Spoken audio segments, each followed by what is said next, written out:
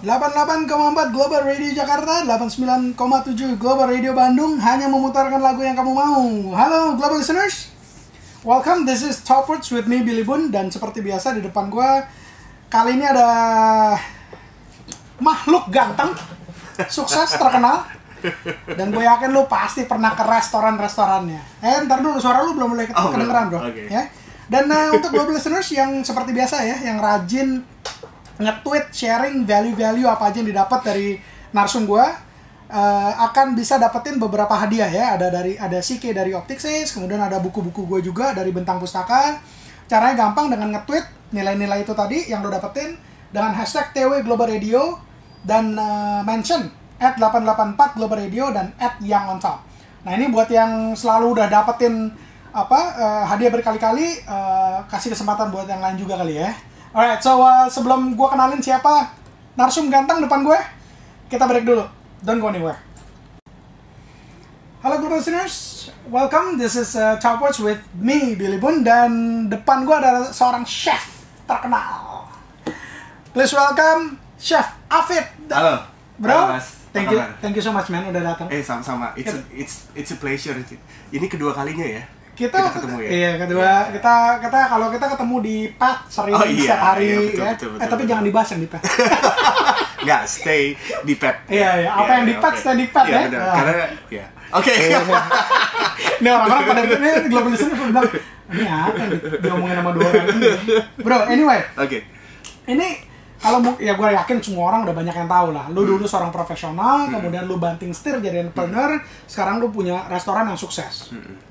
Dulu lu apa nggak takut men? Gue pengen tanya apa sih yang ada di benak lu waktu lah waktu waktu memutuskan oke gue pengen berhenti kerja, kemudian gue mau jadi seorang chef. Oke. Kalau dulu gue nggak ada takutnya.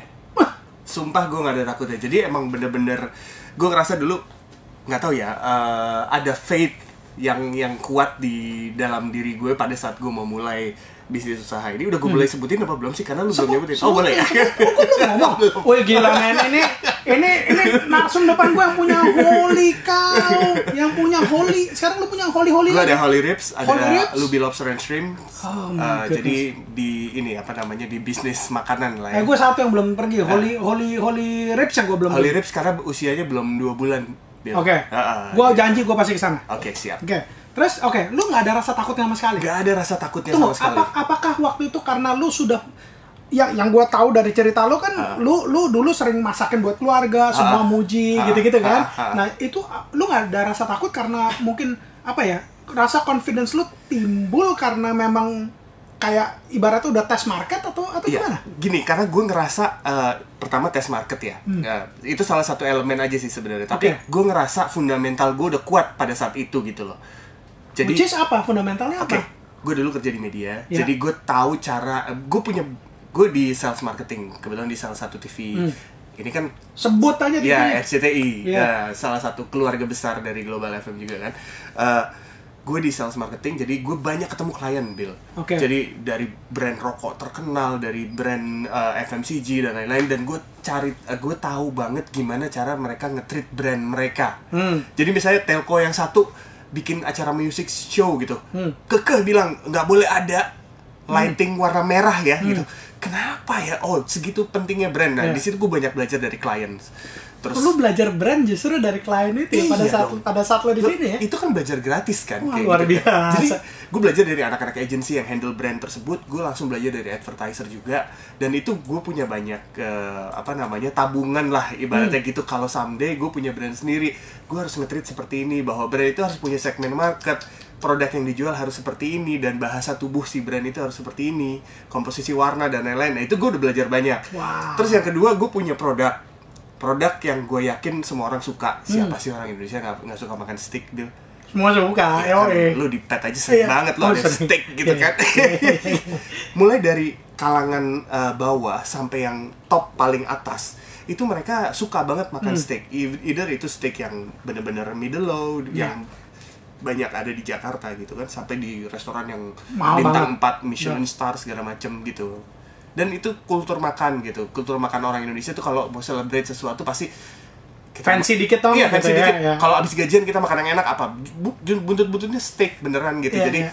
gue yakin di situ gitu jadi eh, kenapa itu bikin gue jadi nggak takut gitu pada saat itu karena ya salah satu yang tadi gue sebutkan gue punya fundamental yang gue rasa cukup kuat pada saat itu Oke. begitu dijalanin jreng Ternyata susah, ternyata ada ada naik turun ya. Iya. Oh itu Ada. kita bahas nanti naik Oke. turun ya. Tapi gue lagi masih bahas kayak yang lu pertama kalinya. Ini lu pertama kali lu kalau lu boleh share, lu modal lu berapa? Sampai sampai menurut lu Alah, gue punya tabungan lima, gue punya tabungan 50 miliar. Hmm. Jadi kalau cuman bikin satu harga apa satu restoran 5 Hmm. miliar masih kecil gitu. Kayak gitu. Enggak banget. Jadi gini, modal yang gue pakai untuk buka Holy Cow dulu adalah bonus yang gue dapet apabila gue achieve target sales di tempat gue bekerja sebelumnya. Jadi Oke. kita kita kan orang sales Ya, ya, pasti ya. ada target dan Ya. biasanya enak itu orang sales tuh Kayak tunggu, ini tunggu dulu. Ini Nah, ini uh, bonus bulanan atau bonus, bonus tahunan? tahunan. Oke. Jadi emang beneran yang namanya gue pekerja ya, Ya. gitu. Nggak beda lah sama pengusaha gitu. Jadi emang kita ngarepin bonus tiap 6 bulan, Ya, ya. keluar apa enggak gitu Ya, kan. ya, gitu. ya, Nah, dari bonus itu gue tabung, gue tabung usaha gue untuk nabung akhirnya terkumpul duit 35 juta. Ah, wow. So, Holy Cow pertama 35 juta. 70 juta. 70 juta. 70 juta rupiah itu pun gue spend sebagian besar untuk alokasi gaji karyawan sampai setahun. Oh my goodness. Jadi gue pengen ibaratnya gini, gue Oh, pengen sorry, sorry. Karena Holy Cow pertama lu itu di radio dalam bukan? di radio dalam dan gue nebeng tempat dan bukannya cuma malam gue nggak punya duit buat nyewa tempat Gua pernah nyobain sekali di situ gagal men. Iya, iya, Gila iya. ngantrinya Iya, bener. buset tuh itu, itu. parah sih itu benar-benar overwhelming sih sebenarnya Bill gitu Iya, terus terus. nah jadi emang apa namanya eh, eh, ya itu gue gue mengais-ngais dari bonus dan akhirnya gue berpartner dengan eh, partner gue dulu Mhm. Kita sa- saweran sama besar 35 juta 35 juta 35 juta itu eh, sekitar 30% itu gua allocate buat pembelian alat dan lain-lain dan 70% nya untuk eh, gaji karyawan selama setahun. Kenapa? Gue ingin memulai suatu bisnis dengan psikologi yang enak. Iya. Ngerti nggak lo? Lu Nggak usah usah mikirin. Ah, lu milih ya. mana? Lu eh, buka bisnis mulai dengan aduh tiga bulan lagi gue nggak ada duit nih jadi gue harus ngejar profit dan itu udah psychologicalnya nggak enak karena Iya. udah ada ketakutan ketakutan yang nggak perlu Kayak ngejar ketinggalan Bener. malah gitu kan. gue mikir gimana caranya gue memulai tapi gue save satu tahun paling nggak untuk gaji karyawan gue bisa tahan lah Iya, iya, iya. dan gue nggak perlu sewa tempat anyway karena kan gue profit sharing dengan Iya. yang punya tempat gitu jadi itu salah satu strategi gue dengan budget yang sangat terbatas 70 juta men Iya. lu buka bukan tempat makan 70 juta apaan gitu kan Iya. warteg aja bisa lebih dari 70 Bro, bro, juta bro. gitu. Ini kalau sekarang orang yang ngelihat Holy Cow, Holy Ribs lu sama Luby Lobster lu, Hmm. lu punya banyak di mana-mana di jalan panjang. Ada gue lewat, gue bilang nih gila sekarang. Ya, nah itu nggak kebayang mulainya tuh lu bener-bener dari kecil sekali. Lu nggak, lu nggak, nggak ada perasaan yang, lu waktu itu nggak pengen karena gini loh, gue ketemu banyak anak-anak muda yang bilang, gue pengen bisnis F&B, gue Hmm. maunya yang keren, gue maunya yang langsung yang wah, mungkin backgroundnya beda sama gue Bill oke, gue harus menjadikan bisnis F&B ini someday my bread and butter.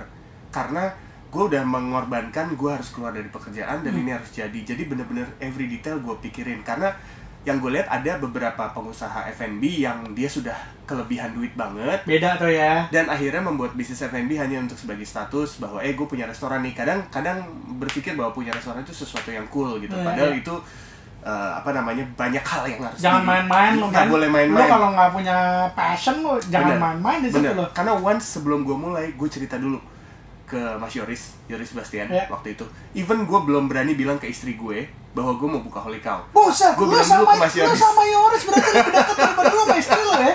Oke, oke, tenang, tenang. Gua potong dulu, Oke. kita harus break dulu. Oke. Abis ini lu ceritain apakah mu, lu ada perselingkuhan dengan Yoris Bastian? Oke. Dan gue nih. Oke, global listeners, eh, masih di Choppers with me, Billy Boon, dan masih bareng Chef Afid, Holy Oke. Cow, Holy Ribs, sama Luby Luby Lobster. Bro, tadi sebelum break lu udah cerita bahwa lu terjadi sesuatu, bahwa lu cerita lu mau jadi entrepreneur ini ke Yoris dulu sebelum ke istri lu. Ya ini kan ada gua- apa ini? Dari zaman gue uh, kerja di media tuh gue ngikutin banget Mas Yoris Hmm. sebenarnya gitu. Apa namanya? uh, dulu dia buka seminar word of mouth segala macam. Itu beneran gue pakai banget di otak gue bahwa nanti gue pengen praktekin deh teorinya Mas Yoris gitu Wah, kan. makin, la- makin laku di hari ini.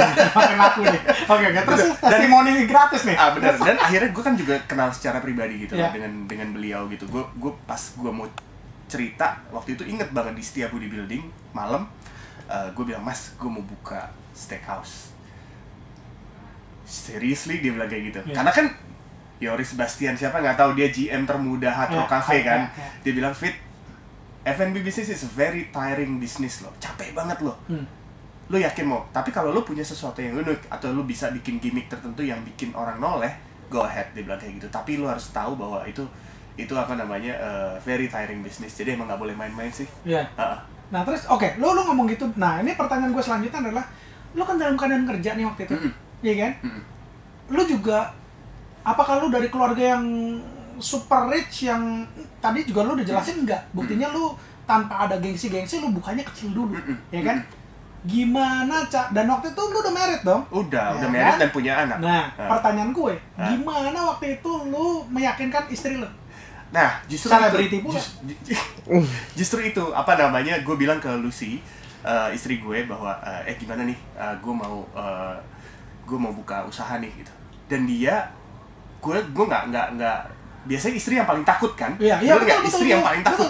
Dan gue yakin banget bahwa gue butuh banget support dari istri. Kalau nggak Nah, bisnis nggak akan jalan. Correct. Berat lah, lu bangun pagi ditanya mana profitnya, Iya, iya, nggak iya, ada gitu kan? Itu beban dong. Ya. Tapi Lucy support 1000% pada saat itu. Justru yang takut nyokap gue karena gue gue lahir di buka, bukan di keluarga pengusaha, Bil. Oke. Keluarga pekerja. Iya. Almarhum bokap benar-benar dia eh, pekerja, eh, karyawan, Ya, orang Nyokap. kantoran ya. orang kantoran, nyokap orang eh, pegawai negeri gitu kan, orang di departemen kesehatan. Jadi nggak ada roots itu sama sekali kecuali kakek gue dulu eh, dia punya sa- pabrik sabun kecil tapi itu juga di desa gitu Hmm. yang bener-bener small scale banget dan dia pun tidak pernah memberikan wejangan bisnis ke gue sama sekali Ya. jadi gue bener-bener belajar textbook dan gue tanya ke beberapa orang jadi kayak mentoring gue beneran ngikutin kata Mas Yoris lo harus mentoring segala macam ya kayak gitu-gitu lu banyak tanya ke orang yang udah mulai dan lain-lain kayak gitu. Ah. Jadi waktu lu pertama kali ngomong sama Lucy, Lucy nggak nyampe bilang, oh gila, gue salah merit. Nggak sama orang- sekali. Orang nekat nih gitu. Nggak, somehow dia Nggak, kayak- tapi bener nggak dia ada nyeselnya nggak merit sama lu? Ya tanya nggak belum? mungkin lah nggak mungkin lah Wih, ya. sukses Nggak sekarang. mungkin. Nggak nggak mungkin lah nggak mungkin dia berani bilang dia nyesel Nggak lu kasih spek lagi ya, nggak rasa lo. yoi jadi gitu Oke, oke. Nah, terus kita ngomongin sekarang lu mulainya kagak ada rasa takut. Ya, Yoris juga udah bilang Nah. bisnis F&B is tiring. ya The good thing adalah ini passion lu banget. banget ya. Heeh. Nah, apakah dari day one Holy kau buka sampai sekarang udah gua nggak tahu ada Hmm. ber- berapa ribu cabang? amin ya, sekarang ini udah banyak cabang ya. Heeh. Apakah mulus terus bro? Nah, banyak sih. eh, makanya yang tadi gue bilang jereng itu Ya, kan. jereng Di, tadi di ya. awal gue berani banget, tapi di titik ini nih, hari ini detik ini, kalau gue bil, misalnya lu nanya, fit, lu berani nggak? Lu mul- harus riset lagi Iya, dari awal, mulai lagi dari awal gitu. dulu, dan lu udah tahu apa yang akan lu hadapin Iya. sampai detik Iya. ini. Lu berani nggak? Mungkin keberanian gue akan turun 50%. Jadi Wah ini jujur banget ya. bener, bener. Karena gue nggak mau bilang, oke, jadi pengusaha, men, jadi pengusaha itu enak banget dan lain-lain. Apa namanya bisa apa namanya Bangun siang keren uang banyak duit. uang bekerja untuk lo ini untuk lo apa na- lu lu Iya. lu bisa naik mercy ke mana-mana men nggak nggak nggak kayak gitu gitu loh. kalau lu bener-bener jalanin apa yang udah lo lo lu rintis dari awal itu syarat dan kompleks permasalahan itu day to day 24 jam nggak nggak selesai gitu jadi tapi yang penting gini, lu bahagia nggak lu ngejalaninnya Ah. itu aja sih. Cuma kalau gue dibilangin, lu udah tahu apa yang akan lu hadapin di awal dan sekarang Will lu- you would you do it again? Ya, gitu will kan? you do it again? 50% I will ya? do it again, but nyali gue akan turun 50% dari yang dulu gitu. Jadi, ya gini, kalau lu yakin lu lakuin deh, tapi Hmm. lu hitung dulu. Jadi ibaratnya eh, apa, apa namanya? The beauty of not knowing everything Yeah. is a good thing. Yeah. It's a blessing in It's a disguise. blessing in disguise gitu. Tapi paling nggak lu punya fundamental yang tadi gue bilang, lu punya produk, lu punya strategi, lu udah ngitung uh, return on investment dan lain-lain. Karena bisnis, maksud gue nggak lah. Maksud gue bisnis orang passionate dan lain-lain nggak mikirin duit nggak nggak harus lu harus mikirin duit gitu karena Untuk sustainability ya. sustainability itu penting banget gitu kalau lu nggak mikirin duit karyawan lu yang jumlahnya banyak itu lu mau kasih makan apa lu bayar pajaknya gimana kalau Hmm. hitung hitungan lo Hmm. salah bisa-bisa duit profit lu habis gara-gara pajak Iya. itu yang gue pernah alamin di awal gitu ibaratnya gitu oh ternyata banyak banget eh, apa distorsi gitu kan banyak banget hal-hal ngehe yang akan lo adepin gitu Iya. tapi ya itu itu yang bikin makanya gue gue kagum dengan pengusaha-pengusaha besar gitu kan yang dia udah punya udah punya station TV atau dia Iya. pengusaha agribis agrobisnis oil company dan lain-lain Itu mikirinnya gimana nih, iya, dia gitu bisa ya? sampai tahap itu tuh apa yang udah dia laluin gitu Iya. kan jadi makanya gue mikir oh iya orang tuh bisa pakai Rolls Royce he earns it gitu loh putra sampur misalnya putra Iya. sampurna dia pakai Rolls Royce he earns it karena apa yang udah dia laluin Iya. itu bukan hal yang orang luar cuma ngeliatnya cuma ngeliatnya enaknya sekarang Iya, perjalanan nangis nangis darahnya Bener, yang yang, bener. yang sering kali nggak nggak terekspos ya bener kadang itu yang harus diekspos sebenarnya Iya. Apa namanya eh, eh, berdarah darahnya lo sebagai pengusaha itu apa dan itu yang kadang-kadang orang agak tabu untuk omongin Oke, gitu. nah di program ini nggak ada tabu-tabuan. Abis ini gue tanya, darah-darah nangis-nangis lo apa aja? Oke, Oke? oke. Alright, don't go anywhere.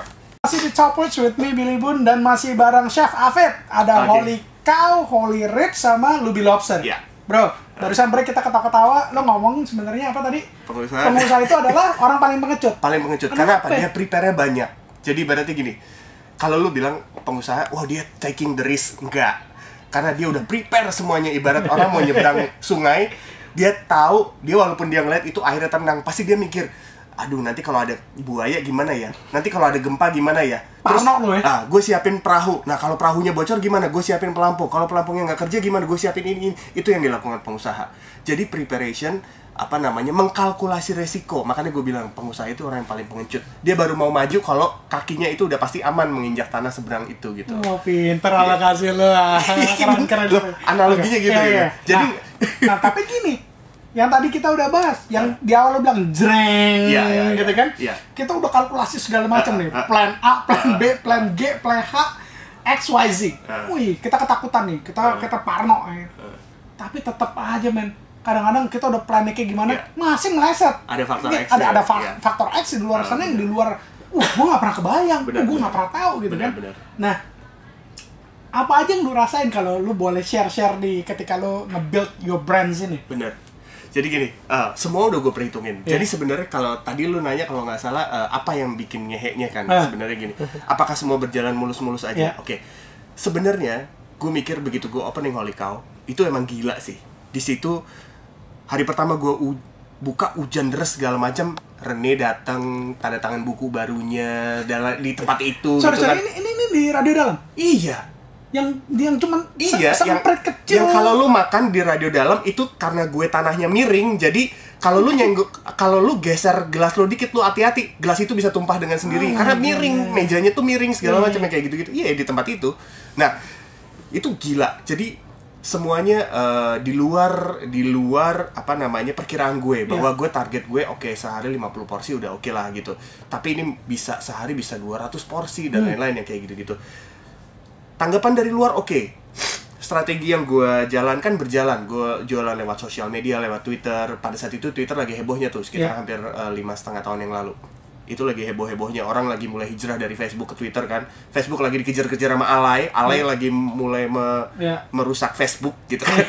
Orang-orang target market gue pindah ke Twitter lagi eh, pada ala, heboh. eh, ala, ala yang rusak Facebook itu sekarang pendengar kita ini. Oke oke oke sorry sorry sorry ya Alay. nah dari dari eksternal dari eksternal gue eh, alhamdulillah belum ada problem Hmm.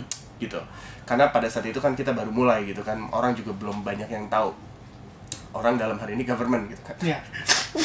terus nah gue sebenarnya rusaknya dari internal Manajemen internal. manajemen internal Oke. gue pecah pecah kongsi Oke. jadi Sama mungkin- mitra bisnis tuh, sama- sama bisnis si co-founder ya? Heeh, co-founder jadi mulai gue pecah kongsi kita punya beberapa hutang eh, apa namanya dan pada saat itu gue sampai melibatkan mediator untuk kita membagi-bagi aset dan lain-lain gitu. Eh, akhirnya dari kita punya banyak beberapa tanggungan. Pada saat itu kan kita lagi sudah buka di Singapura kebetulan. Hmm. nah banyak banget dari mulai plus sampai akhirnya minus Oke. nah itu yang di luar ekspektasi kita dan itu Sorry, sorry. Plus maksudnya apa? Dari profitable Dari- sampai akhirnya sampai akhirnya minus keuangan Oh, gua wow. minus Oke. karena gua harus membayar hutang sewa see. dan lain-lain karena Mhm. itu harus disettle kan Iya, iya, iya. jadi pada saat berpisah itu udah nggak ada tanggungan sama sekali supplier yang harusnya bukan belum due untuk pembayaran dan lain-lain gue bayarin semuanya dan Oke. akhirnya minus nah Sorry, sama. Ntar gua gua gua gua cut sedikit. Hmm. Lu nggak perlu ceritain kenapa secara detail, tapi lu pecah kongsi ini apa? Karena beda visi? Melayu banget sih kalau menurut gue. Jadi apa namanya kita terlalu overwhelming dengan keadaan. Oke. Apa namanya eh, udah lupa lah dengan dengan apa yang udah dijanjiin di awal Oke. gitu. Jadi Iya. intinya adalah eh, yang up, yang propose untuk split up itu gue Oke. karena gue sudah tidak memiliki kepercayaan lagi. Ya it's klise lah, Bill. Klise banget gitu. Iya. Ah, Terjadi sesuatu Chemistry-nya udah pecah gitu ya. chemistry-nya udah kira-kira. pecah dan dan itu sangat menyedihkan buat gue Hmm. karena akhirnya eh, sekarang kan jadi kayak ada dua versi Holy Cow gitu Iya. yang kayak gitu-gitu. Nah, itu itu yang yang di luar ekspektasi gue sih. Dan post setelah pecah kongsi masih ada beberapa lagi problem-problem yang yang yang menurut gue eh, apa namanya eh, cukup menghentak gue gitu. Salah Hmm. satunya yang tadi gue bilang, kalau lu salah hitung, jangan-jangan profit lu cuma bisa untuk bayar pajak dan lain-lain. Ternyata begitu kita udah berjalan dan lain-lain, miskalkulasi di gue. Gue dengan gue dengan polosnya adalah kalau gue nggak ngenain pajak ke customer, gue nggak perlu declare pajak dong ke ke government. Itu kan karena bego-begonya gue gitu. Kalau karena proses pembelajaran bro. proses pembelajaran. Iya, iya. Akhirnya ya udah akhirnya pada saat itu ditagih nih nih, bla bla bla karena orang pajak kan pinter banget ya Iya, jadi iya. tahu beneran tahu dia hitungannya dan lain-lain gue harus membayar pajak dalam jumlah yang besar gitu dan akhirnya men ini ngambil dari dari mana karena nggak ada Dari budget profit. dari profit udah Waduh. habis lagi gitu ya kayak Oh, gitu gitu wow. jadi jadi tapi dari situ gue belajar oh Iya. ternyata kita sebagai pengusaha pengusaha juga warga negara ada beberapa kewajiban Sure. yang tadinya gue nggak hitung ternyata itu jadi salah satu komponen besar bes- malah. oh besar sekali Iya. gitu loh dan gue baru tahu bahwa men kita bayar pajak tuh gede banget ya ternyata ya Hmm. kalau karyawan gue dulu pajak kan udah termasuk Dibayar. hitungan di Kita mau taunya net aja yang kita gitu kan. tahunya net dan ternyata memang kewajiban kita terhadap negara itu besar dan Iya. itu yang itu salah satunya yang kedua banyak banget Bill banyak banget kayak misalnya gini, kalau di dalam the art of leadership gitu, Hmm. yang paling susah atau seorang CEO itu 60% rata-rata menurut survei dan pengakuan adalah ngurusin karyawan. Ah, ah, iya. tunggu dulu, dulu, bentar. Oke, oke. Lu lu jawabnya setelah break break Oke, yang satu ini siap, ya. siap. Alright, dan gue nih. Si akan membahas eh, tabunya ya, susah nangis berdarah-darahnya jadi seorang pengusaha nih. Hmm. Gue masih bareng eh, Chef Hafid dari Holy Cow, Luby Lobsters, dan Holy Ribs yang gue bentar lagi akan datengin. Oke, bro. Ya Tadi lu udah ngomongin lu nyempet pecah kongsi, Hmm. ya. Terus kemudian lu ngomongin tentang salah hitung di perpajakan, ya. Sampai akhirnya lu harus bayar bayar besar. Nah, tadi sebelum break gue juga udah bilang bahwa 60% dari CEO itu ngakunya waktunya kepake untuk manajemen, ya untuk ngelit timnya. ya Sama nggak di bisnis lu ini di apa lu sebagai restoranter ya? Ya nggak sih? Ya, Pengusaha ya. restoran. katanya gitu ya katanya, nyebutnya gitu gitu, Dan lu punya banyak cabang. Ya. Lu lu banyak ke apa keambil pikiran lu ke situ nggak? itu yang gue rasain pada detik ini Bill Oke. jadi eh, mungkin pada saat eh, lima tahun yang lalu gue tidak terlalu merasakan hal itu karena karyawan gue masih cuma lima Hmm. sekarang kita udah 450 lebih Oh my goodness, 450. 400 Ya. karena bisnis restoran itu Ya. menyerap tenaga kerja Iya, lumayan banyak Padat karya ya. padat karya banget mulai dari uh, kitchen dari Correct. yang di dining area dari cashier segala macam security dan lain-lain itu gue rasain sekarang apa namanya uh, setelah kita memimpin uh, kita memimpin 450 ka- uh, karyawan ini itu yang gue rasain. Itu gimana? itu semuanya beda background, beda values keluarga, beda pendidikan. Yang Tapi harus lu itu nih. benang merahnya sama karena gini gue tidak meng hire beda. Pada saat gue jadi memimpin grup kecil di di tempat gue kerja gue punya beberapa subordinate ke bawahan ibaratnya itu relatifly secara komunikasi secara memberikan pengertian dan lain-lain misalnya raut muka gue berubah aja mereka udah tahu kenapa ya gitu Iya. salah gue apa gitu dan karena background educationalnya beda. Hmm. Nah, ini yang gue hire adalah mereka yang rata-rata educational backgroundnya mentok di SMA. Itu mentok ya. Bahkan ada yang masih lulusan SD, mereka nggak punya duit lagi, lulusan SMP, dan mereka tinggal di uh, apa namanya daerah-daerah rural, rural area yang yang sanitasinya jelek dan iya pokoknya background Ya. yang yang seperti itu yang tinggal di yang kerja di tempat gue. Nah, gimana caranya gue mengelola sumber daya manusia yang seperti itu untuk mengajarkan bahwa ini restoran yang datang orang yang ngelihat semua meja harus bersih padahal mereka tidak memiliki kebiasaan seperti itu Hmm. Iya, di rumah. iya, iya. Bagaimana cara kita lu komunikasi dengan customer harus baik dan lain-lain padahal dia berbicara dengan orang tua mereka tidak seperti itu. Bagaimana cara kita menghandle orang lu harus bicara dengan atasan caranya seperti ini padahal dia belum pernah punya pengalaman dan lain-lain. Nah, itu yang gue pikir gimana ya caranya ya gue supaya supaya punya sistem Aha.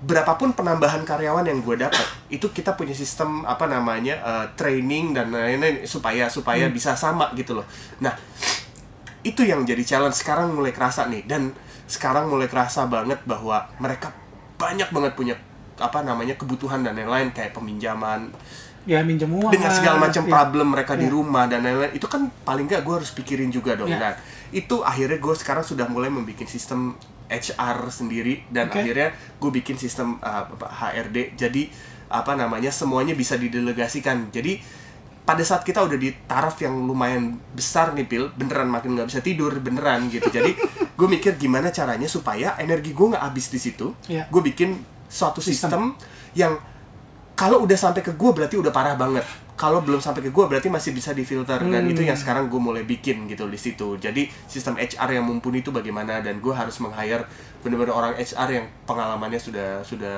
sudah lama di Iya. di bidang itu di perusahaan sebelumnya dan lain-lain dan gue ini eh, karyawan itu supaya betah karena kan Lu, once ini gampang lu kasih lobster tiap hari ini kayaknya. nggak juga mereka bosen Oh bosan. jadi gini Tapi gini dikasih berarti. Kalau gitu kalau gitu lah. Loh, mereka tuh harus nyobain loh supaya tahu That's right. apabila kalau kasihan dong mereka customer makan lobster enak wagyu Ya. 9 plus tapi mereka cuma bisa lihat dan mereka belum pernah ngerasain itu kan nggak fair jadi Ya. justru yang pertama kali nyoba kalau kita mau ngeluarin menu baru adalah karyawan gue Wow, supaya nice. pada saat mereka menjual ke customer mereka bisa kasih tahu bahwa ini memang enak Ya. kelembutannya sekian eh, pokoknya kayak Ya, gitu lah ya, Bil. ya. nah tadi sampai mana ya Tadi sampai mana ya? jadi apa namanya enggak, enggak. Gini, gini, gini, gini, gini. gini. Oke, apa HR? HR. Ah, ya. Jadi apa namanya? Ya itu itu yang yang yang yang sedang gue galakan sekarang Hmm. nih. Jadi jadi proses belajar itu sampai sekarang gue masih masih lakukan sih. Dan terus ya lu belajar terus. Aduh nggak ada habisnya sih Bro, sebenarnya. gue mau nanya gini. Lu di awal dapat restu dari dari Lucy dari istri lu gitu. ya. Dia sekarang ikutan nggak di di bisnis lu ini? Lucy ikutan tapi dia invisible. Hmm. Jadi Lucy itu yang ada di balik semua akun sosial medianya uh, Holy Cow Group. Oke. Jadi dia yang Marketing jagoannya lo ya. ya jadi kalau Lu cuma bisa tukang masak kayak lo. benar. Tapi kalau ada lu nggak jadi juga masakannya. Jadi Lucy yang eh, dia ngurusin media relation, eh, Lucy yang ngurusin kalau lagi ada misalnya lagi ada beberapa brand yang mau coba untuk kerjasama, dia yang maju dulu dan dia sebagai marketing communication Hmm. Holy Cow. Jadi kita bagi tugas sih sebenarnya. Oke. Jangan Nah. sampai Lucy jangan musik kerjaan gue, gue juga nggak mungkin bisa musik kerjaannya Nah, dia. itu gue mau nanya. Lu nggak takut berantem nih? Punya bisnis suami istri. The beauty of punya istri sendiri sebagai partner bisnis, gue bisa ngomongin bisnis itu kapan aja, even di tempat tidur. Hmm. Jadi kadang uh, apa namanya ide-ide baru itu pada saat gue sama Lucy tidur malam lampu dimatiin dan lain-lain kita ngobrolin masalah Holy Cow. Eh tadi kenapa ada customer komplain nggak? Nice. Komplainnya kenapa dan lain-lain. Apa ya kira-kira apa yang harus kita bikin dan lain-lain. Dan itu terjadi pada saat gue tidur sama Lucy. Iya. Malam kita review hari ini gimana dan oke berarti kita harus bikin sistem A untuk penanggul untuk apa namanya eh, apa namanya eh, service eh, customer service kita harus bikin terobosan seperti ini eksekusinya gimana dan lain-lain itu enaknya itu Bill Oke, bagi tugasnya, oke ini kebetulan lu bagi tu- dan lu komunikasi obviously dalam keluarga lu berarti lu sangat bagus banget gitu ya. Iya. Nah, lu nggak pernah yang ini kalau di di grup lu ini di ini siapa bosnya siapa anak buahnya nih? maksudnya gimana Siapa CEO, siapa CMO misalnya? gue CEO? Lucy cuma selevel manager Selevel manager tapi otoritasnya presiden komisioner ya. dia ngomong keuangan dia ngomong- yang approval semua dia ngomong dia ngomong apa sih nurut oke bro kita break dulu ya Oke. oke dong nih boy masuk ke segmen terakhir dan eh, seperti biasa gue akan harus minta nodong lo untuk ngasih top words jangan buat kita semua oke oke siap siap alright so global listeners here we go top words dari chef Afid silakan Oke, bro buat global listeners, terutama yang masih berusia muda ya. Gini, jadilah pengusaha karena kesempatan buat jadi pengusaha itu masih gede banget di Indonesia. Kita masih berapa ya? Masih persentase itu masih jauh dari ideal. Jadi kesempatan itu masih ada. Dan market kita gede banget dan akan terus tumbuh. Middle class kita gede, spendingnya besar. Jadi ambil beberapa peluang karena rezeki itu tersebar di mana pun. Kalau lu jeli ngelihatnya. Jadi ambil peluang itu jadilah pengusaha tapi yang paling penting adalah perencanaan hitung dulu semua possibilitiesnya habis itu punya produk yang bagus lakukan marketing yang oke tinggal lo ambil manfaatnya Jalanin, jangan cuman omdo mau doang Oh gitu iya ya. harus dijalanin dong. Iya. Kalau misalnya bisnis yang paling bagus adalah bisnis yang dijalanin kan. Iya. Jangan cuma di kepala doang. Iya, gitu. iya, Nanti iya. dicuri idenya Iya, sama iya. orang lain. Nah itu dia. Oke, thank you so much bro dan Thank you, Mas uh, Bill. Global listeners jangan lupa ke ini ya, Holy Cow Holy cow, Luby Lobster Luby Lobsters? Holy Rips. dan yang terbaru Holy Rips ya. Holy Rips, I, I gotta go. Nanti gua Oke. kasih Nanti kita janjian di sana Iya, ya. nggak nggak, gue nggak mau. Kalau janjian, kalau janjian sama lu gratis nggak. Gue mau, gue enggak mau. kata siapa enak aja. Oh enggak ya? kalau gitu, ya udah kalau gitu janjian. Oke, so Oke. uh, thank you so much bro udah mau berbagi buat kita semua ya. Sama-sama, sama-sama my pleasure. Oke, so global listeners untuk yang mau tahu pengumuman hadiah eh, yang menang bisa memfollow at 884 Global Radio dan at yang on top. Hadiah bisa diambil di studio Global Radio mulai besok dari eh, selama jam kerja ya. Dan untuk yang mau tahu gimana cara bikin CV yang baik dan benar, gue udah bikinin eh, engine-nya tinggal datang ke cv.yangontop.com. It's totally free. Dan untuk eh, setiap bulannya yang on top itu ada yang on top academy, tinggal ke www.yangontop slash YOT Academy. Belakangnya pakai Y ya. Dan eh, seperti biasa setiap bulannya itu nanti kalau mau lihat event apa aja bisa ke www.yangontop.com. Until next week, global listeners, be inspired. I'll see you on top.